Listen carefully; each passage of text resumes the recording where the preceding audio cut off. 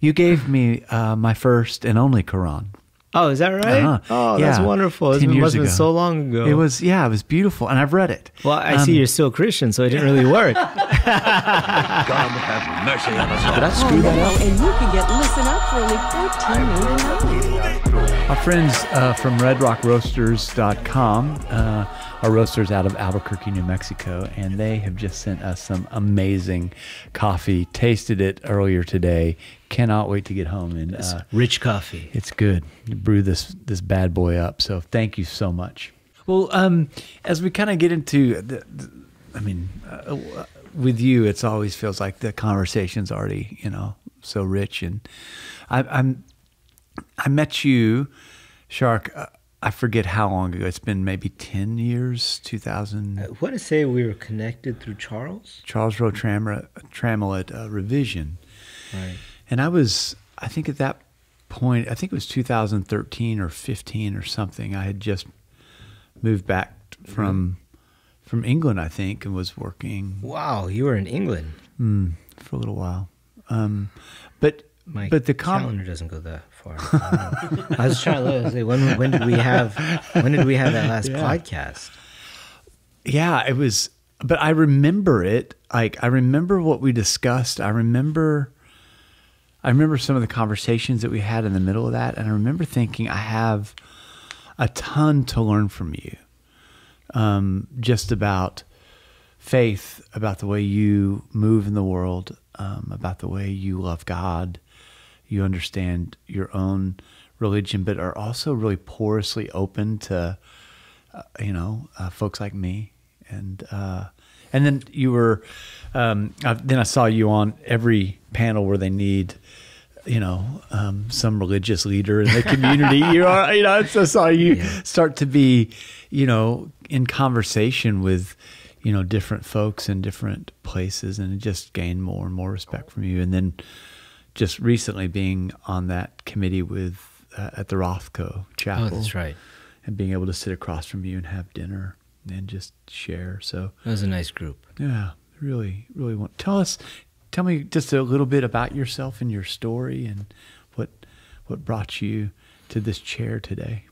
I'm born and raised in Fort Bend, and um, is a product of first generation Pakistani immigrants. My dad got here in '71. My mom got here in '79, and I'm the firstborn, so I was the experiment, right? And that's the story of many immigrant families. It doesn't have to be South Asian; could be Hispanic, could be mm. Italian, Japanese.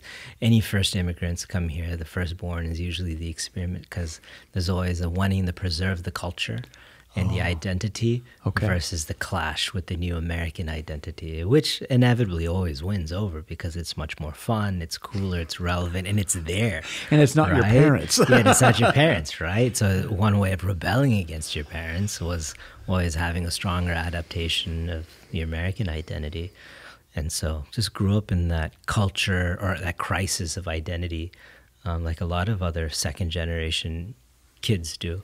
Um, but mine was more prevalent because I was a double minority. Not only was I not Christian, but I was also brown, and an unusual type of brown because the browns are usually the Central Americans, the North Americans. Um, but I was a. I I remember telling people are asking where is Pakistan. I'd have to say it's next to India, right? I was Yeah. like, oh, what does that mean you're a vegetarian? It's like, no, we're very carnivorous. But You 9 must 11. love America. Yeah, but then but then Is 9 near 11 changed all Oklahoma? that. Yeah. That's just North Oklahoma, right? Pakistan. But then 9 11 changed all that, right? Yeah, right, Now right. everyone knew where Pakistan was. People, Mm. our president was pronouncing Pakistan like Pakistan, not Pakistan. Mm. And so things things changed when the world shifted, right? Mm. So I, I I went to I went to U of H, um, went to UT, went to many schools. My background was I just wanted to do entrepreneurship. I got a degree so I could get married. In my culture, you have to have a degree in order to get married to be ah. legitimate. So I took the seven or eight year plan, I don't Yeah, know, to yeah. get a degree. And I got a degree in something that I love, which is history, something that I could enjoy because I was always doing business. But at the same time, I was um, running, I started uh, a youth organization in Houston called Crescent Youth Yes. right? It was uh, just essentially it started off as a Muslim organization to help kids battle that identity crisis that I and so many others went through to be like sort of like the big brother, big sister. Like you don't, you're gonna go through ABC. Your parents are gonna say this. This is how you keep your mouth shut and continue on, right? This is how you stay out of trouble. These are things that you can do. And and you know, you said something earlier about policing the borders, right? Yeah. That's how a lot of Muslims, especially myself, grew up. Like this is right, this is wrong. Yes. This is, you know, religion is about sin, right? It's about rules. It's a set of rules, a set of engagement policies, um, and you can't stray outside. Otherwise, you will earn God's wrath. Um, that's the way a lot of Muslims grew up too. Too many still to this day. A lot of Muslims grow up like that. So, so the organization was about forging and, in many ways, foraging an American Muslim identity Yes. for kids. Can you? Th- th- that was an insight that you helped me with that unlocked like this like new world for me. Yeah. In that, and I'm I'll say what I heard you say Sure. in, in a conversation, and please correct me. Um, but that a lot of what what we see is not necessarily the the the beautiful inner workings of um, of Islam, but it really is a cultural adaptations, or it it like any religion brings a culture with it, and so often what we're seeing is from around the world. Yeah. Cultures that are coming together, clashing with other cultures, and we're calling that Islam. That's right. That's right. But that's the story of all immigrant identity groups. Mm. I mean, if we talk to Lutherans um, from before it was the ELCA, i- i- you had Lutherans from Nordic countries and then Germanic countries Yes. and then Catholic countries who are Lutherans or Lutherans who come from Catholic bring their own version of Lutheranism, Yeah. right, to the Right, United right. States, uh. right? And then you've got the Lutherans that are on Minnesota, Yeah. and then you have the Lutherans in Nebraska, Yeah. and there's shades of differences, right? Just shades of difference. But when they come to Houston because they're attracted to the oil and gas industry here, and you see those differences manifest in the church, Mm-hmm. and then you have splits, and then you have divisions, and now you've got the ELCA and the Missouri Synod. I'm completely simplifying this, but there's there's differences in how you view theological texts based upon your cultural mindset. Yes. And it's the same thing with Muslims. It happened with the Jews, right? You've got the Jews from Ukraine, you've got the Jews from Germany, the Jews Yeah. from, you know, the Sephardic Jews. They all have different understandings right, Yes. of the same text. Yes. And it's not black and white understandings, it's just different shades of gray. Yeah. Right? Um, the Muslim community is the same thing. It's you have Muslims who've come from Saudi, you've got Muslims that have come from Pakistan and India, the subcontinent, Muslims that have come from Malaysia and even Africa, right? Which was one of the, the hotbed of Islamic civilization at one point in Africa. We have the most Nigerians in Houston outside Yes. of Nigeria, right? Um, Hakeem Olajuwon. And so you, you you have different cultural mindsets when it comes to how Islam should be practiced in the United States or even just in Houston. But those mindsets are slowly taking a back seat to this to this creation of the American Muslim identity. As Nigerian second generation Muslim Americans marry Pakistani uh, Pakistani American Muslims, and then we've got this interethnic marriage and cultural Yes. melting pot, or just hanging out. You see, my my parents are from Pakistan. They didn't hang out with Nigerians in Karachi, right? They didn't hang out with Malaysians in Karachi. They never hung out with Indians In Karachi. in Karachi, right? Talk about that's worse Like- than hanging out with like it was that's worse than hanging out with anyone else. Yeah, Absolutely, right? okay. And that, but that's how it have worked with Nigerians, Saudis, you know, Emiratis, and others. It's a it's the same concept. You didn't really hang out with people from far and distant cultures, but here. We have to hang out with people. Our mosques are a complete melting pot. It's a true representation of the United States. Yes. Right. Um, I live just down the street from a really large mosque in uh, in Spring Branch. Mm, El uh, Farouk. yes, and it's it's beautiful, um, and during particularly on Fridays prayers, it is a traffic jam, and there's a there's a lot across this uh, across the street Yeah. from uh, uh, from the mosque, and and I've been there where I'm caught in traffic, stopped, and people are coming across, and it is like the phrase in, in in out of our text every tribe and every nation Yeah, that's is right. moving Everyone's. across the street to go pray. Yeah. And I was like, oh, this is this is amazing. Yeah. It's cool. It's Yes. like, uh, and every Friday at El Farouk Islamic Center is like an Astros games. People are coming from all over and they're jamming up traffic. They're parking on top of one another. Yes. And they're trying to park on that curve. Yes. Look around. No cops are there. All right, let me dart in real quick. You know, make it, who's going to tell me when I'm praying? Yes. Right. But that's, that's so many Islamic centers. That's great. Right. Yeah. That's because we're, we're going through our growing pains as well. You know, we built out Islamic centers during COVID when when so many faith centers were shutting down. We increased the number of faith centers we had during COVID, just because there's such a huge population boom.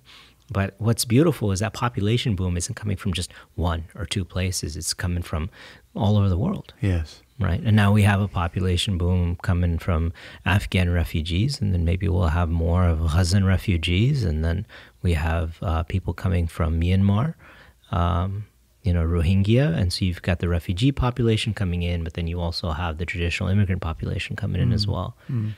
How is that? Or what does that do, or how does that affect the Muslim community here? And does it affect faith or the the outworking of a community when there's an influx? And um, you know, and and I would imagine that one of the things that is core to your faith is hospitality. I, in fact, I would love to hear. Oh, yeah. Like, could we, could we before we go there? Could we just could you just talk about kind of the core of your faith and and and yeah, just give us a give us a tour. Look, to be to be Muslim means the, the the word Muslim, the word Islam, essentially means to submit to the will of God. Okay. right? It means submission to the will of God. Mm. Um, and that submission to the will of God happens through, in Islam, through what's laid out for us in the Quran, Okay. right? Our holy book, and through the Sunnah, which is the teachings of the Prophet Muhammad, peace be upon him. Our Christian friends would say the teachings of Christ, right? So the teachings of the Prophet Muhammad, peace be upon him, have been transcribed through generation after generation after generation. And so we look to both the Quran and the way that the Prophet Muhammad carried that out. And what are the core tendencies? So, so there's five pillars of Islam. Okay. There, there's five pillars that really that really say, yeah, you're a Muslim, or um, these are just this is just the bare minimum that you have to do. Okay. And the the first one is the shahada, which is the testimony of faith. That's the pillar upon which everything else relies on, the foundation. You could do every sin in the book, but as long as you repent, or not even as long as you repent, as long as you believe that God is one and the Prophet Muhammad, peace be upon him, is the last and final messenger, you're a Muslim. By identity, you're a Muslim. You could be drinking alcohol. You could be drinking, a, you know, a Jack Daniels in the morning and having all the bacon that you want and your BLTs at nighttime. Not praying a day. Maybe, uh, you know, maybe even doing some other stuff that could be a little loosey goosey. But as long as you believe that God is one and that Muhammad is the last and final messenger, you're a Muslim. So that's the core essential.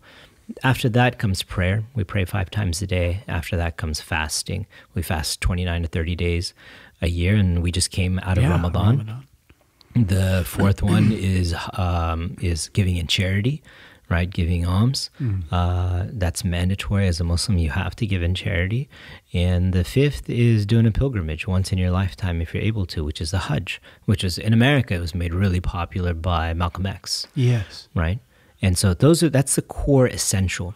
But when you look at when you look at sort of the spiritual pillars of Islam as well, you know, part of that is having mercy, of having being warm and welcoming.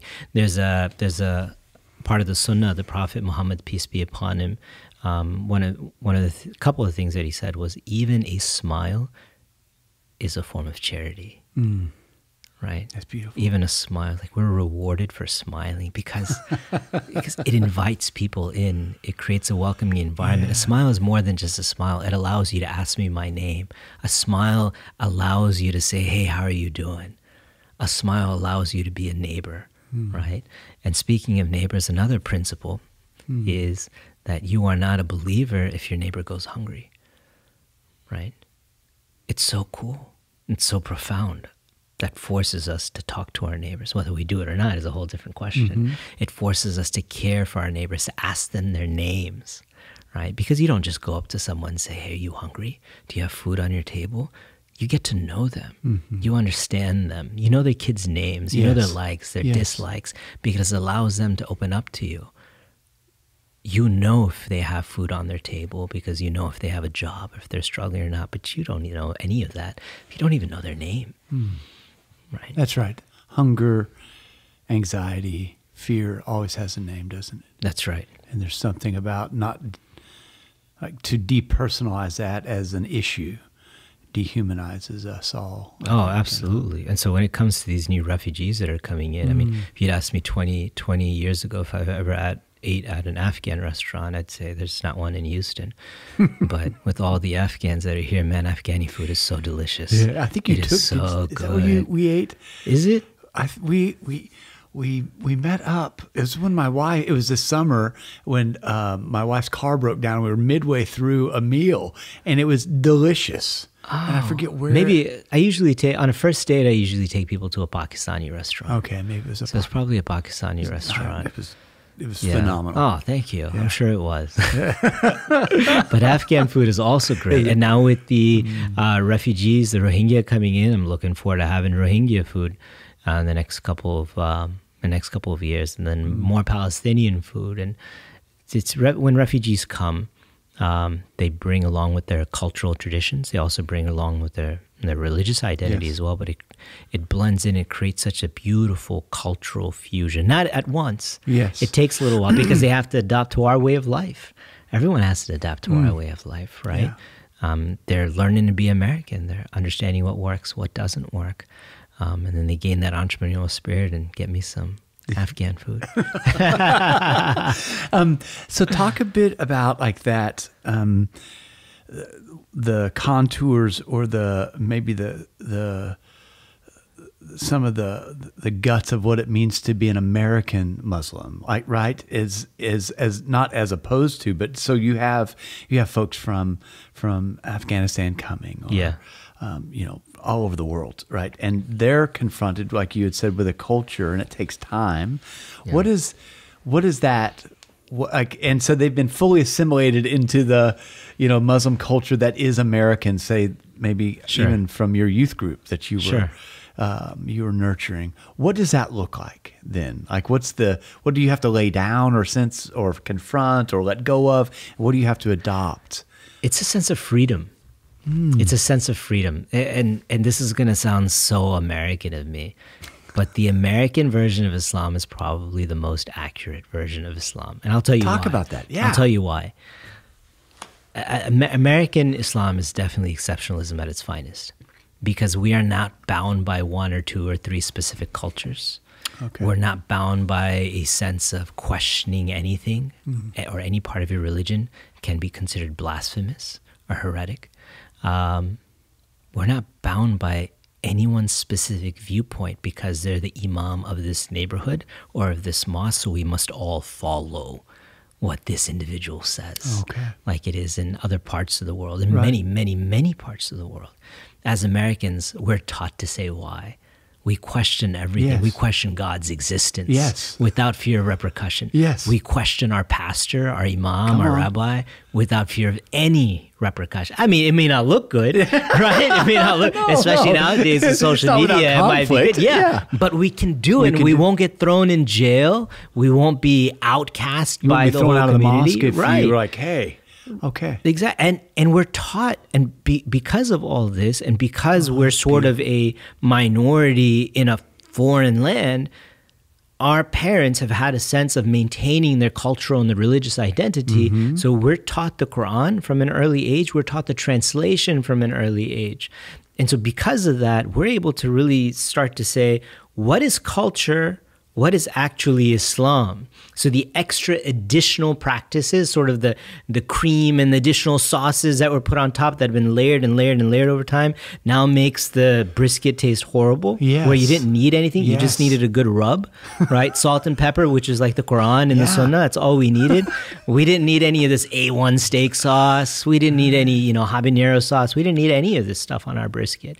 And as as American Muslims, we're able to because we're away from Pakistan and Saudi and Egypt, we can say, wait, we don't we don't want the A1. We're happy with the salt and pepper because it's simple, it's easy, and it's without restrictions. Mm. We can practice Islam here to the fullest, which is part of the reason why the largest export of the Muslim community in the United States is American Muslim identity. That's the largest export. One of the largest exports. That's right. And here's why. Because our imams and our scholars here are viewed in the hundreds of millions on YouTube, on uh, on podcasts throughout the United Kingdom, throughout Europe, throughout the Middle East, throughout South Asia. The imams and the scholars who are American born are traveling the world talking about Islam. There used to be a time where our communities were importing imams from Yes. Saudi and Yes. Egypt and Malaysia and Pakistan to come here, tell us, teach us about the when religion. you and I were kids, that was That's the- exactly yeah. how it was done, Yes. right? But now our oh. imams and scholars are in demand around the world to come teach this type of Islam because it's an Islam free of anyone's culture, anyone's cultural interpretation that has been formed by tribalism or colonialism or the need for survival or the need to do something extra over Yes. the years. Over here in America, we've had to take everything down to the foundations. We stripped everything down to the foundations because you have these Egyptian Muslims, the Pakistani Muslims, the Saudi Muslims. They all come with their, you know, they all come with their, you know, their, their steak sauces, right, or all their sauces, and quickly realize that this doesn't taste good at all. So let's go down in the meat of it. Okay. Let's get right down to the basic. What is actually what? And Right. that that ability to question is not heard of in other parts of the world. It's very unique to the American experience. Mm. Not even the British experience. the British, they imported entire villages into Birmingham or Yes. Leeds. Entire villages moved over there. Yes. Right? And so they brought that tribalism with them and they've maintained that tribalism even to this day. Yes. But here, our immigration patterns have been entirely different. Right, we've come from education, we've come from wealth. We hadn't had until recently we hadn't had to flee any kind of destruction or violence. We came here to be well off, to live the American dream. That's allowed us to explore and create this American Muslim identity, which is so beautiful. Did you know the, one of the largest universities in the in, in the world is based out of Houston? It's called Al Maghrib Institute Okay. right? So it's a weekend seminar type university. They do a four year degree, um, but they have students all over the world, in the tens of thousands, right? All Online? and the majority. No, they do. They have American scholars travel all over the world Wow. to teach these courses. American scholars, and that's just one institute. And is it? What do you study at that school? You can study Sharia law, which is the framework to understand Islamic law, Okay. which is how do you get married? How do you get divorced? You know, what is the what is the issue with inheritance laws, financial laws? Okay. Um, you could study different things such as general theology. You can study aspects of uh, general jurisprudence. There's so many different degree pathways. Okay. Would in in, in the con in, in the context that um, I come out of, would that be uh, a theological education? Is that what It, it would okay. be. It would allow you to become a chaplain Okay. or an imam. But to, to be clear, in Islam, you don't need a degree or any kind of study to become an imam. You could do it the Joel Osteen way and say, "My dad was a pastor. I'm a pastor." Right? Well, am I, I don't know if I should say that. Gosh, you're good, dude. we can just knight you as a pastor right now, right? just print some cards up, and there you go. so you can you can do that way in, in Islam because there's no credentialing system to be a part of the cloth, right? Um, but this allows some level of credibility and a foundation Hmm. for knowledge, which allows for people to get. I mean, we have an imam in Houston who's very very popular, Imam Ammar, whose whose degree is from the Al Maghrib Institute, right? Okay. It's Where's he amazing. from? He is Sudanese, Okay, but born American. He's from so he's from Queens. from New York. Yeah, he's from New York. Okay, what, Yeah. what part of Houston is he in? He is in the Clear Lake area. Okay, what makes him popular? I, he's really he's a poet. Okay. He speaks very well. He's young. Um, he's American, um, and he has a, a true true grasp of how to relay Islam to an American Muslim audience, right? Which is really nice. Yeah. Um, he's got a very large group of uh, young professionals that follow him, um, that go to his that go to his seminars. Um, it helps that his father-in-law is one of the premier North American scholars as well. Okay. uh, which is really cool. Um, So that is the Joel Osteen connection. Right yeah, there. so that is the Joel Osteen connection in a way. Yeah, that's right. That's, right. No, he's a, he's a great guy. In fact, he's going to be here at Chapelwood doing a seminar for us. When? Um, we're we're looking at May first, uh, but I think we're gonna we're gonna push it off to June. Okay. Um, because Pastor Mike is going to be traveling most of, Okay. um, or Rev Mike, Reverend, right? Michael. Yeah. yeah, yeah. he's going to be traveling all throughout May. Uh, but it's a program called Angels and Messengers where we explore our differences rather than our similarities. And the differences is where they get us. What do you mean? It's it's never the it's never the similarities. It's like you and I like Christ, right? You we both love Christ. have an adoration for him. Um, the way he was born. Um, those are things that we hold common, but where they get us at is our differences and how we view social issues sometimes, or how we view cultural issues, or even some theological issues. So between Christians and Jews is who killed Christ, right? And they drive that wedge. Yeah, between us right. right? And so they find our differences to where because we all know that we have more in common than we don't, even with atheists, even with Right. agnostics, right? We love our families, we want a shelter, you know, we want food on the table, everything that makes us human. It's we and, and that that and we don't even need religion for that. It's just what makes us human. We have Mm. So much in common. So And then when you add the theological labor, we have even more in common. That Right. our differences are so minute. Right? think What diverges the story of Muslims and Christians is primarily the story of the cross. Right? In my opinion, in the opinion of many, it's it's what happened to Jesus. Right? We believe he still lives to this day, possibly one of the oldest living, in our perspective, human beings. Right? And and our friends in the Christian church believe that he died on the cross. Right? Um, and much so much more after that as well. Um, if you talk to us about how we love our neighbors, how we love our families, it's the exact same. It, it's funny to me, and I hope maybe my bishop does not listen to this. it's funny to me that um, what divides us in the end of the day is the impossibilities that are possible, right? So when I when you say what is the difference between maybe our differences is we believe that Christ is still living, Yeah.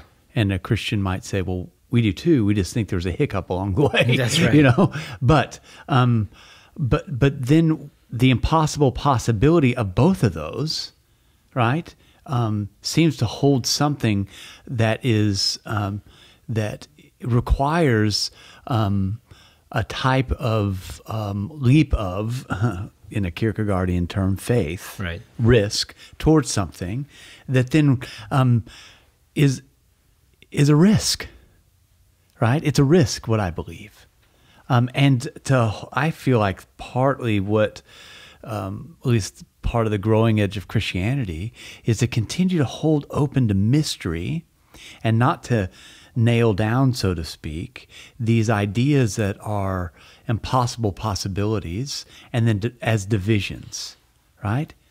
Like I hold these things as mystery. God is mystery at the end of the day. There's the mystery of God showing up on the planet, Sure. right? Um, is is a it's an absolute mystery. Right. Um, if the core of all of that teaching from my faith tradition comes down to what um, um, one of the writers in the New Testament and, and John says, this is the essential message that you have received from us that God is light and in him is no darkness at all. And then John goes on to say, and God is love, right? And so you're using these metaphors, these beautiful, rich, poetic metaphors that are about the light of life and love. Right. And then somehow we wield those as instruments of violence against each other instead of what you were saying earlier. You're my neighbor. I need to know your name. Are you hungry? I'd like to know your story. which no, is I, which I think that like like um, both your prophet and mine might sit at a table, and I might walk by a restaurant and they're laughing together. Oh my God. Because they're just like, you know, That is a picture. right? Jesus and Muhammad, peace be upon them both, if they were just hanging out, at a I don't know, just any kind of restaurant having sandwiches, what would those sandwiches be? but what would they be talking about? Yeah, and I see them laughing together, sharing a joke. Like there's something about laughter that kind of both like undoes us and that opens us up and it's kind of like, oh, and then we can kind of slide into some deeper stuff. Yeah, and then we insert Moses in there. He he comes in, he shows up late, 15 Right. 20 minutes Yeah, late. The right. skeptic walks in with his with his cane and just sets everyone right and says, "You guys are doing this this this wrong." And then they all just share it. I was like, "Oh, Moses." That's so funny. you know, you um you gave me uh, my first and only Quran. Oh, is that right? Uh-huh. Oh, that's Yeah, wonderful. It 10 years must have been so long ago. It was yeah, it was beautiful, and I've read it. Well, I Um, see you're still Christian, so it didn't really work. just barely. but one of the things that's so interesting to me is within our within our we have we share all this common story, right? Common actors within Yeah. the story. Oh yeah. Um, and it wasn't until I you helped me with this. It was like talking about like um, Abraham and Isaac Right. and and Mount Moriah, who was offered on the altar. Who was Right, that? right, right. For us, it was Ishmael. Right. For y'all, it was Isaac. Right. Right? Yeah. So- Abraham was tested twice. Yes. Yeah.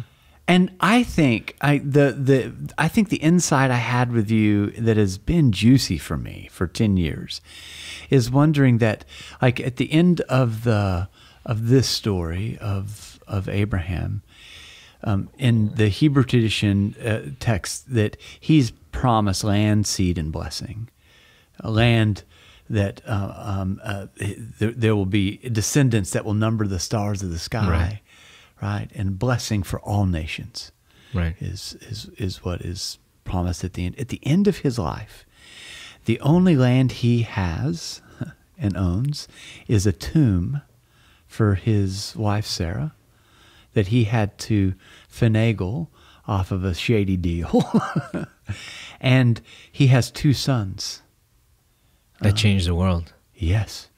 And I began to wonder at that time, you, um, and then um, after he, he, in the Hebrew scriptures, after he um, buries Sarah, um, he marries Hagar and is reunited with Hagar and, and Ishmael.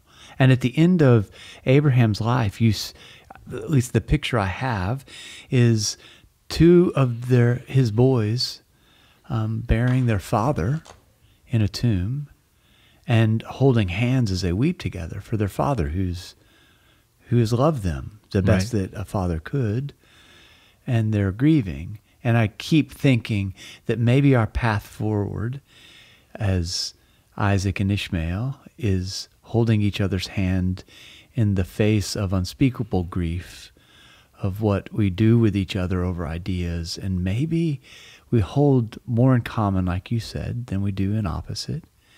Maybe there's something about grief that brings us together in a way that being right doesn't I mean, Harvey brought us together.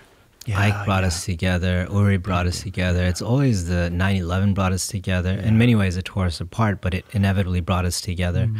So many things bring us together, but that togetherness is so temporary. yeah eh, yeah and fragile It's so temporary, very fragile, very fragile. And then we go off to the happy times and then we forget Hmm. the beauty that we shared together. So part of the work that you're doing in Houston, I find to be like eminently fascinating and important in the Minaret Foundation.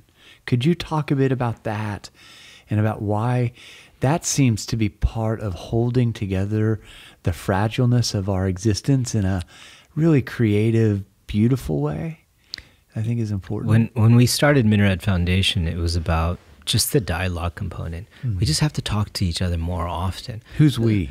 Who, just who's the we? it- Muslims, Christians, Jews specifically, Okay. because it's not the Hindus that are going to bring out the swords and the axes. Not the Sikhs for sure, even though they used to walk around with daggers. But no, it's it's the Muslims, Jews, and the Christians who have always been at each other's throats mm-hmm. here. You know, historically here in, in mm-hmm. Houston. Yeah. We just want to talk about Houston. It's we have the most tense relationships. So for for me, it was about how do we get each other to talk more often and more deliberately. You could have a hundred minaret foundations in the city and it won't be enough. There's so many faith centers, so many faith communities, so many people that need to talk to one another, and we're so behind Yes. on talking to one another. And we just, I mean, your listeners just have to ask themselves do they know their neighbors on the left and the right, in the front and the back? Do they know their names and their kids' names? That's it, bare minimum. Their names and their kids' names. Do they do they know just that? In the four directions of their home. It's just in the four, just in the four directions of their Just home. there. And just four homes. That's it. Just four homes. And I think the majority Mm. answer will always be no. Right? We've got so much work to do. Um, so our focus was just trying to pair up congregations, getting the Muslims to come outside of their bubble because. You know what folks don't realize is that Muslim activism, Muslim advocacy, Muslim relationships are just as old as 912 2001. Before that, the focus of the Muslim community was build, build, build. Build the mosques, build the cemeteries, build the slaughterhouses, build the schools, um, so we could thrive as a community. The idea of going outside of our mosques and our schools to talk to Christians and Jews, explore interfaith solidarity, or even what it means to be a Christian, and uh, teach people what it means to be a Muslim was not a priority. It was definitely Yes. there, it just wasn't a priority. But when the Twin Towers fell, it became, oh my God, these people have no idea who we are. no. Bin Laden is defining Islam, right? Al Qaeda is defining Islam. We have to define Islam for ourselves and let the country know. And so a lot of these new organizations, a lot of these organizations that came out were born on 9 12 2001. Um, ours was born 2010, several years later, but the focus has always been building these relationships. So we built relationships year after year after year after year. And it came to a time of, okay, you've built the relationships. We have a lot of relationships in the city, but what are we going to do with them? Yes. We've got to do something. Let's move towards because there's been a lot of conversations and relationships take years to curate. There's no doubt about that. You hmm. can't just have coffee with someone and expect to just hold hands and they'll stand with you in the good times and the bad times. But you need to be, you know, there's something about crossing the flood in Harvey to go to your neighbor's house and give them a few bottles of water that really brought neighbors together. Just Yeah. a sense of everyone checking on everyone, but it was a common sense of purpose. It was mission, survive. Yes. What was our mission? Our mission was to survive Harvey, to get through it, right?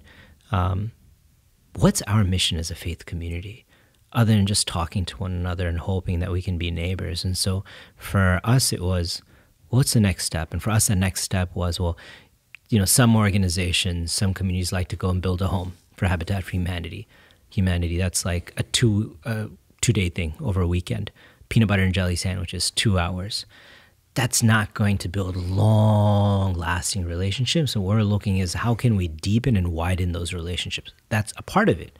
But how do we truly deepen and widen it? You know, when you have an imam, a rabbi, and a pastor walking through the Texas Capitol building, um, that is a uh, three hour drive there and a three hour drive back. And that is months of educating our legislators when we're doing something at City Hall. That is months of working together, of congregations working together for a common mission, right? And that common mission for Minaret Foundation is usually to do with our children, child welfare, to do something about hunger, food insecurity, or to do something to ensure that we can all practice freely, religious freedom mm-hmm. right? So when we work together to quite literally, systemically change the world around us, it really brings us together in a way because now we have battle stories.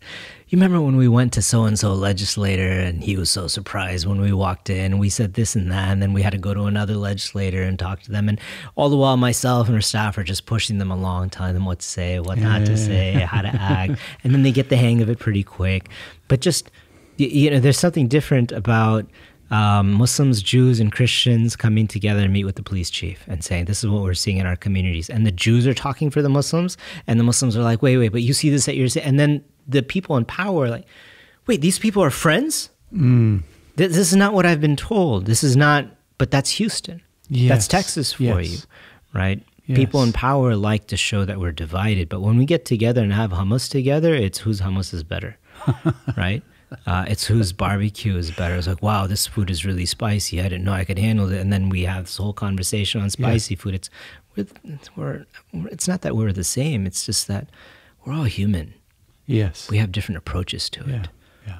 We have different approaches to our humanity. We have different ways of looking at our humanity, but it doesn't mean that one is less than the other. But what's nice about those van rides and those bus rides to Austin or to City Hall in Houston when we're going to, to speak and mm. testify, it's that we're all doing it to make our neighborhoods better, Better. for our children, Yeah. right? for us all as Americans mm. to succeed. It's not, I'm a Christian, you're a Muslim, you're a Jew. We're neighbors Yes. and we're in it together. Yeah. And that's such a great way of demonstrating the relationships that we've tried to curate and build over the years. Mm-hmm. Say, when we do something together too. That's great. I love it. I I've been uh, really thinking about that word neighbor as it relates centrally to like my faith as a Christian. That I don't think that there can be any discipleship without neighborliness. Mm. I don't beautiful. think that you can you can you can put that uh, label on yourself and say I'm following Christ into the world if you don't if you don't practice a deep deep uh, pervasive neighborliness. That's beautiful. You know, in in Islam, so the there's a common. Hey, do you guys have an angel Gabriel in your faith tradition? Come on.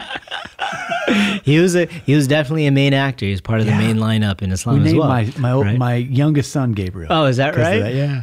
So, so Gabriel would come to the Prophet Muhammad, Ah. and he'd come to him and deliver uh, revelation to him. Mm-hmm. Okay, so there's a few ways that the Prophet Muhammad would receive revelation. Um, once it was directly in person, face to face, if Mm-hmm. you will, with God, and that was a commandment of prayer. It's the only commandment in Islam that was given face to face with God. It was prayer. The, and the other way is through dreams, and the other way is directly through uh, revelation through the angel Gabriel as an intermediary. And so the Prophet Muhammad told his companions that I keep getting revelation about neighbors. I'm thinking that neighbors will be included in inheritance as well, right? As part of the inheritance. Like that's the right of neighbors over you, right? So there's so many, there, there's so many points regarding neighbors in Islam that the Prophet Muhammad, peace be upon him, thought that they would have to be included in your inheritance as well. That's beautiful. Right. So, in the Christian tradition, crazy, Paul uh, is talking to this woman who has married an unbeliever. And Paul basically says, in so many words, because of her, his connection with you and this community, somehow he, he's caught up in this faith like I don't quite understand all of that, but there's a mystery of relationship and neighborliness and connection to where the mechanism doesn't come through our brain, it comes through our social realities and relationships. And that our belonging at the end of the day, I think Christianity at its core is a system not of believing, but of belonging Wow. and that we are best. We we fulfill um, the the words of our own prophet when we are creating systems of belonging, and we somehow create avenues that are what the New Testament might say anti-Christ when we create systems of believing only and cut people off from belonging. And so I think a lot of Christianity in modernity is um, woefully inadequate. So to making the church, making sure that the church is welcoming to 100%. everyone. Yes. Not just people who profess faith, but people who don't profess faith. People who just need a place to go to. People who need to be nurtured. yes. Yeah. I mean, this is one one of the things that Jesus talked about was it, it's the it's the sick that need a doctor, Oh my God. right? So what are you setting up? You know, clinics for, and then have all the shiny folks come together so you can what? You know, everybody kind of just you know polish all the That's right. instruments, you know, and talk about you know the past, or do you say no? Let's get our hands dirty. Goodness. We're all sick. That We've you- all been there. And that's such a huge conversation in the American Muslim community. It's been for a while. It's do we want fences around the mosque? Hmm. It's so some would say we need it for security, insurance purposes, but it just stops people from coming. yeah. It- you self otherize yourself. You, you make yourself into an exclusive club. Yeah. yeah. Right? Lifetime has a fence. LA Fitness has a fence. You know, these places have a fence. Sam's Warehouse has sort of a fence. Yeah, it does. They're not and I mean that fence is the guy who's checking your membership, mm-hmm. right? So we don't want anyone. To, anyone should be able to come in and be uh-huh. welcome.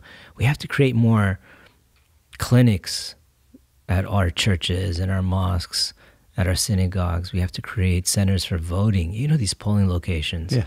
Have to be at our faith centers too. Yes, yeah, I, I just, 100%. I just really think it's because we have a tendency of otherizing. But when you walk into a church for the first time ever, and you're like, wait, no one's trying to convert me, or a synagogue, and all of a sudden you you know everything's okay, and it's Yeah. not as, or especially a mosque. I remember when one of our mosques in Sugarland became a polling location. People's face when they'd walk in, it was a culturally cultural immersion experience, like they were in one of those Channel Eight PBS travel tour guide, you know, those those Yes. those videos. Yes. like we're in a different foreign land, right? You walk in and like, whoa, we're somewhere like this is Aladdin's territory Yeah. or something. Yeah. Right? We're border crossing. Yeah, here, yeah, man. border going cross. That's right, exactly. It's a whole different cultural immersion, and then you just walk out and like, wait, wait, this is Yeah. sort of just like us. Can I ask you a couple of super ignorant questions? Yeah, yeah. Ask, ask. So when you say um, the prophet's name, and then you um, then say Oh, peace be upon peace him. be upon, tell me about that. What is that mnemonic? What what is? So that's a that's a blessing that as Muslims that we give upon not just the Prophet Muhammad but upon all the prophets. These are the most noble people on the face of the planet. Yeah. Jesus, Jesus Christ, Moses, Abraham, Ishmael, Isaac, Noah, Lot. Um, they were some of the most noble people. So as a form of charity, as a form of a good deed, um, we always praise them when we say their names. okay, okay. So then I'm cruising Friday afternoon, and I'm going by the mosque. Mm. Okay. and maybe I don't have a lot to do.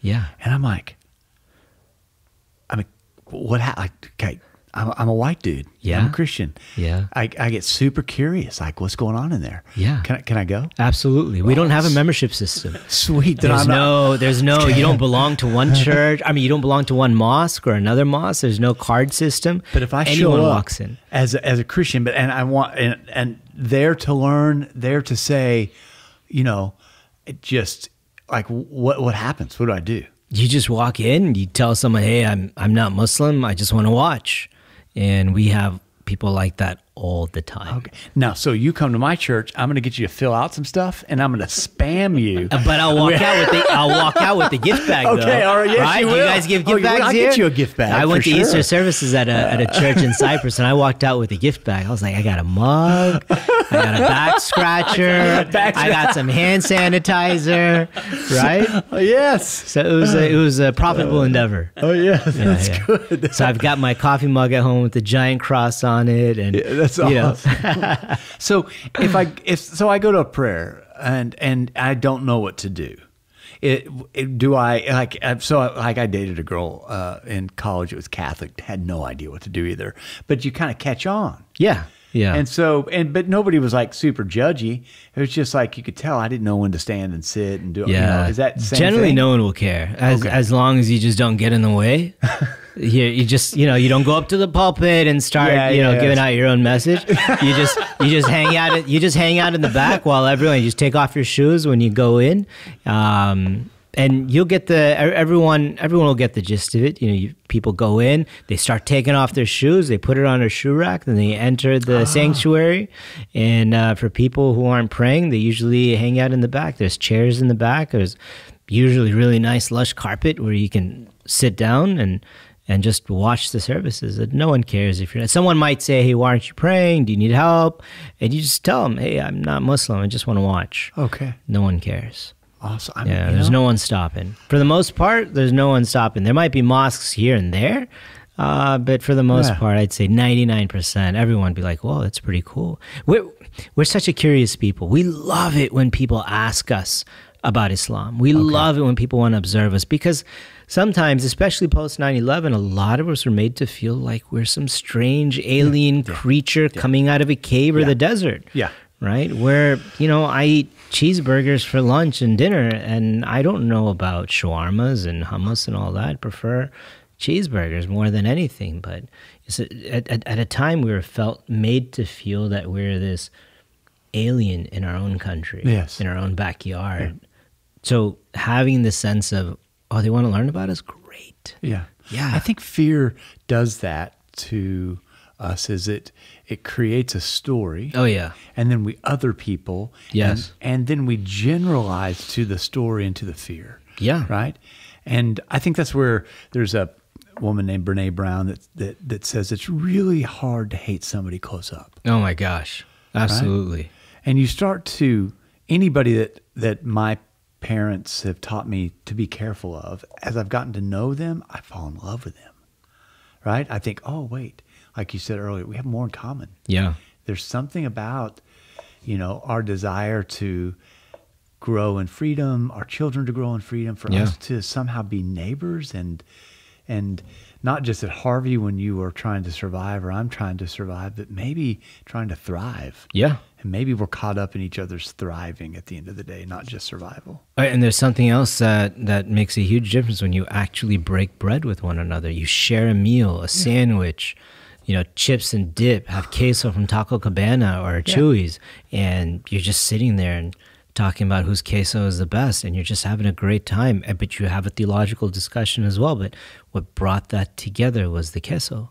Yeah. And um, it's something about breaking bread in all of our traditions, but just as humans, Yeah. right? I mean, throughout history, it's just There's a bread is always involved. It's a common It staple. There, there's a story uh, in this season of um, the Christian community where um, actually the the the place that Jesus is recognized, like like post post death, Mm-hmm. is when he's when he's breaking bread. Oh wow. Like they don't recognize him. Nothing's, you know, they can't. They, they feel later. Oh, didn't you feel something? But they don't recognize him until like like he's having tacos, like he's eating food. and so there's something about I think the mystery of sharing meal together, where we like like the mystery of God's divinity and who we are and all that stuff shows up. You know, and I, I, there's something about that that I think is beautiful. Ah, it's beautiful. And, and then you have such a, a rich anchoring in the food, whether you liked it or you didn't like it. You got that, that that memory serves as an anchor. Yeah. I mean, you remember the type of food that we had, Yes, right? yeah, It was a cultural immersive experience for yeah. you. Yeah, it was great. Um, okay, so it's it's ten years from now. Yeah. Minaret Foundation is just kicking butt and taking names, just doing Nice. well, yeah, I love it. Yeah, um, and you have been somehow given a magic wand, some so to speak, to kind of say, "I'd like to change this in Houston," um, and it would really help a lot of things. It might, you know, release some floodgates of goodness. Hmm. Like what? What? Like yeah, what would you do? What would you change? When is Thanksgiving? Thanksgiving is in November. When is the Super Bowl? So Super Bowl is in January. And the last question I'll ask is when is Easter? Easter is a moving target, but it's in April usually. When's when's Diwali? Diwali. Diwali has got. I have no idea where when Diwali is. When is the festival of Abraham in Islam? have Eid no al Adha. idea. That needs to change. Okay. All of us, we have, we should know when each other's celebrations or holidays Ah. are. That allows us to continuously greet one another. That allows us to continue to celebrate with one another. Right now, we're in Passover. Right. Last night was the first night of Seder. Yeah. Tonight's the second Yeah, night of Seder, which traditionally people open up their homes. Yes. Right. We should be able to know how to greet a Jew. I think it's Chag Sameach. I'm totally butchering the Hebrew, right? totally butchering the Hebrew. But how do you greet someone on Diwali or when's Vaisakhi, right? For the Sikh community, we have so many. We have a rich Sikh community Yes, here. we we have a highway named after a fallen officer of Sikh origin, who, who is a Sikh, right? Really? Yeah, I didn't in know that. HCSO deputy, Harris County Sheriff's Office deputy, right? He fell in the line of duty, and we named a whole highway after him, Hmm. right? We should know when Vaisakhi is. So ten years down the road, part of being a neighbor is not just knowing your birthday or hey, you had just had a kid, or you know what job you have, but one of the most meaningful days of the year for you. Hmm. Holy Sunday, hmm. Eid, Vaisakhi, Diwali, hmm. Rosh Hashanah, Yom Kippur, because a lot of our, you know, when it when it comes to the when it comes to Easter week for you guys, I mean, you're on lockdown, you're celebrating, you're praying, you're grieving. Same thing with Christmas. For a lot of our Catholic friends, All Saints Day. Sometimes people don't even know that All Saints Day exists, and what a tragedy, Right. right? All the Catholic churches are filled to the hilt uh, in mass on on November 1st. Um, we should know these things about each other. This is important. It breaks down barriers and allows us to celebrate one another. I love it. Okay. Dude, you're a gift. Ah, thank you. Hey, you are too. This has been such an inspiration. I love hanging out. I love talking about faith. I love talking about how to make America better. I like talking about how we can make a better world for our children through the lens of faith. Yeah. Do you do you uh, two two maybe not last questions, but two questions. Is there anything I didn't ask you that you want me to ask you? Or did you want to talk about that is like like juicy for you right now, or something that's like, oh, this is what you need to know? I don't know. I don't know. What do you think? What should we have talked about? What did we miss the mark on? We've got a lot of trauma in the world right now. Yeah, maybe can we talk? Uh, Yeah. Maybe not uh, about stopping trauma for, all, but right now we're in a tension. Like I just think you know, not just in the in the Middle East with the Palestinians uh, and and Israel, Right. Um, but then we're seeing like we're seeing like folks kind of rise up and say, "Hey, there's something wrong, Right. happening in other places, you know, college campuses or you know, Yeah. where those things are, are uh, protests are taking place." And I think it's very important that we not lapse into um, either anti um, Muslim tropes or uh, um, or anti um, Semitic tropes, right? I, and I think there's ways of holding differences that say um, it needs to be different. Could we could we do this different?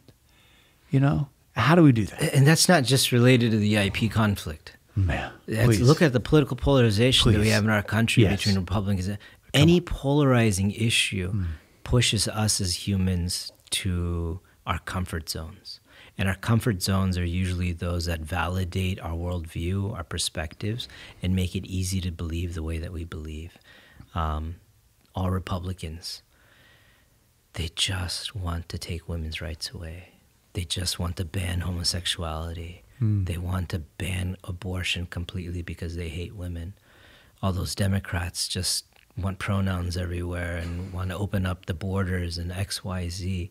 It's easy to generalize and paintbrush entire communities and thereby vilify them hmm. intentionally or unintentionally because it puts us in a safe zone. We know that we're the right ones.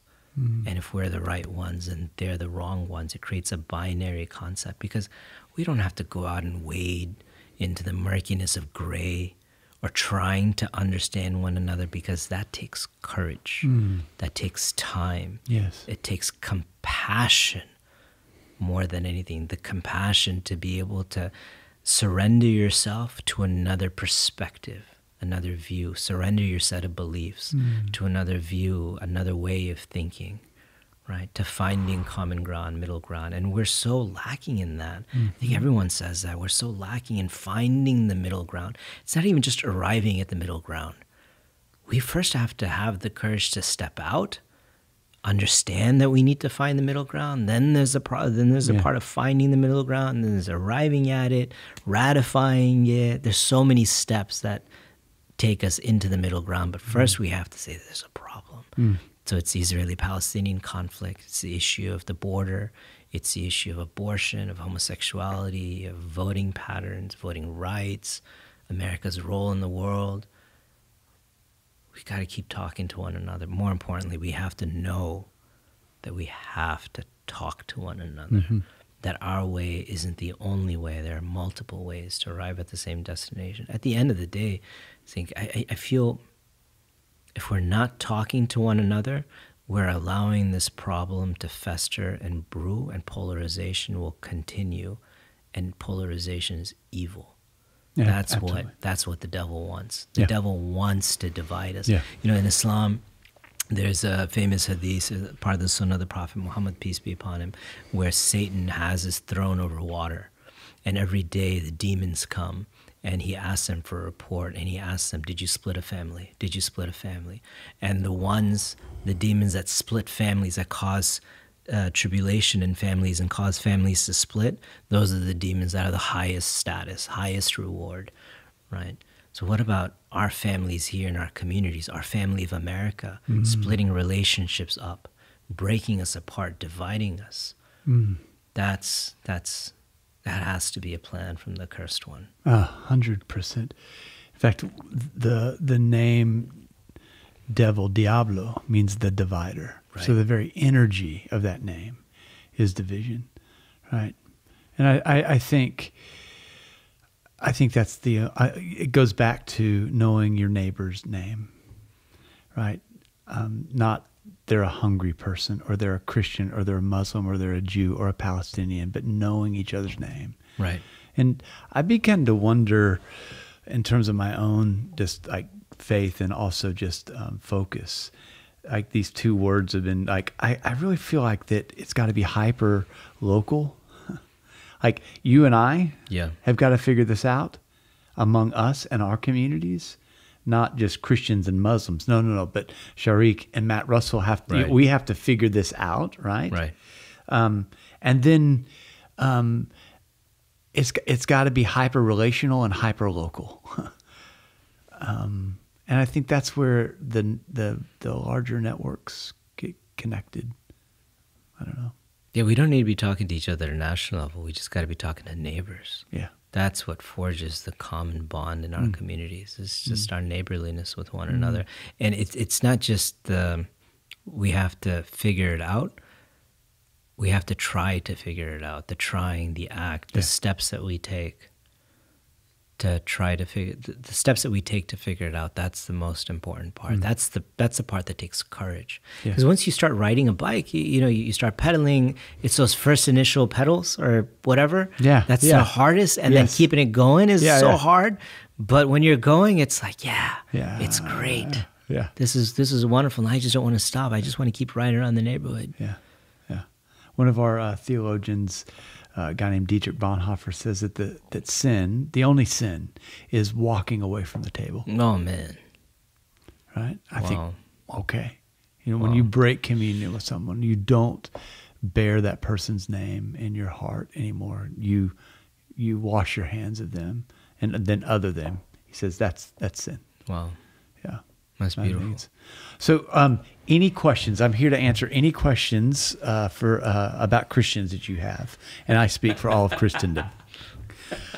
So go ahead, Shark. I'm ready for it. Um, w- w- w- can you guys stop meddling and stop messing up this Israeli-Palestinian issue, guys? This Christian Zionists are really ju- messing things up. We're just here to help. That's all we're doing. you know, it's funny to me. if We, I know we got to close this thing down, uh, but I could talk to you for hours. But it's it's funny to me to hear you talk about like the Muslim community because it's the same with the Christian Oh, community. yeah. I mean, it's a it's a freak show. You know, it depends on what you know. Somebody asked me one time, "Are you a Christian, Matt?" And I, my response now is, "You tell me what you think a Christian is, and I'll tell you if I'm that." you know, because it's like who gets to bear witness to our faith is sometimes the the nuts. You know, the folks that are just like div- like the most divisive. You know, and I think about you know folks like you. Oh, please don't don't judge us by our most extreme cultures. You know, uh, the exportation of ideas and ideologies over love because it's uh, it's not true. no, it's a travesty. Yeah, yeah, yeah. Thanks for being here. No, I'm so glad. This is a blessing to be here. Yeah, great. Well, um, I'm Matt Russell. I'm Shariq Ghani. And this is Pod Have Mercy.